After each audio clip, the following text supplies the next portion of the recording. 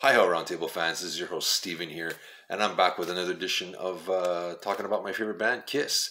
Again, they're on their, you know, farewell tour, and I decided to revisit a lot of their stuff. And um, as much as people do not like their studio albums or think they're not strong, I disagree. There's a lot of albums I do like, and I'll I'll I'll go through some of my favorites that I've gotten to. Of course, my tastes change over the years, and albums will move back and forth as to what becomes my go-tos and not.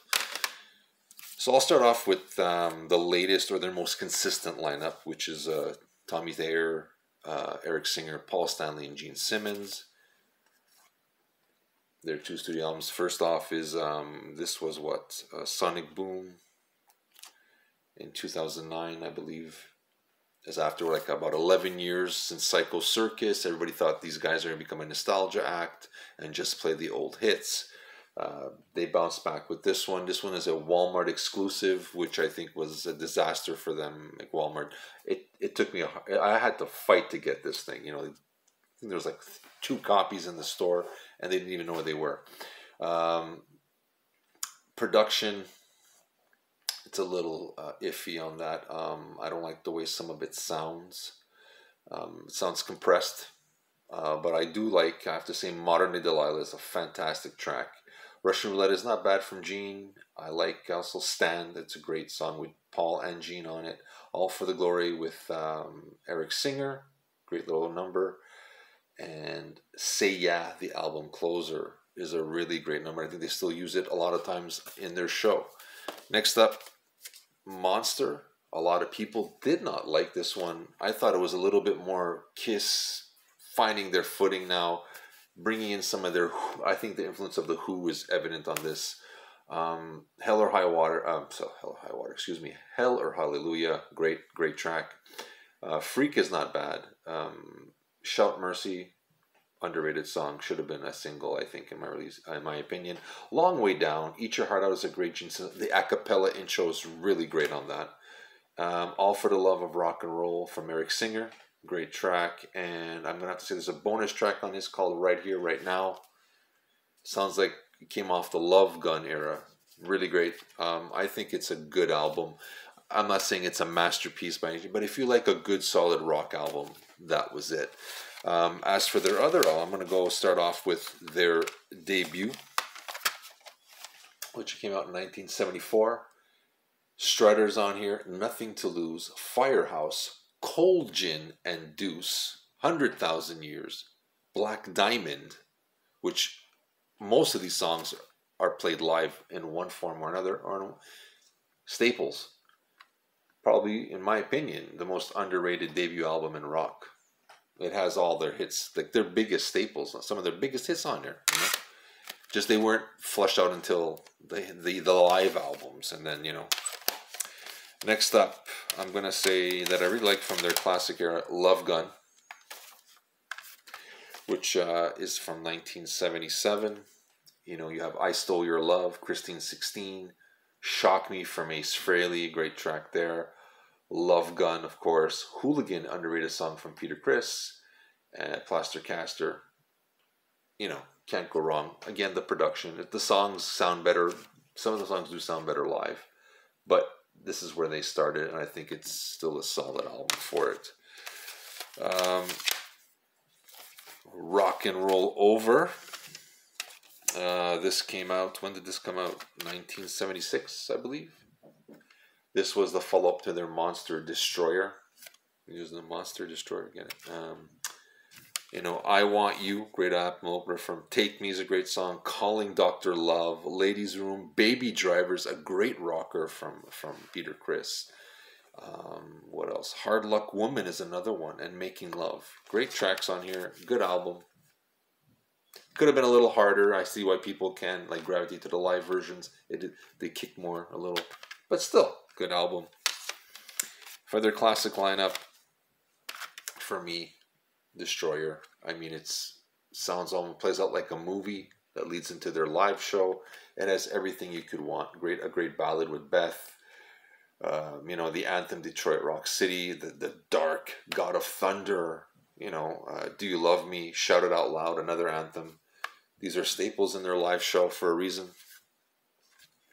Bob Ezrin really brought up the production. This is probably the best sounding Kiss studio album, in my opinion. Next up, um, underrated Creatures of the Night, I believe 82. Uh, the title track, Creatures of the Night, Saint and Sinner, probably the most underrated Gene Simmons song. Great lyrics, great vocal performance by the guy.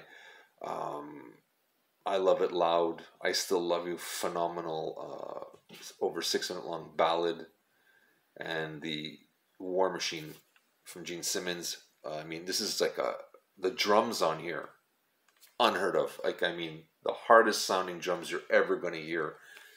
I challenge anybody to find somebody that the drums don't blow your ears off when you listen to this. Great album.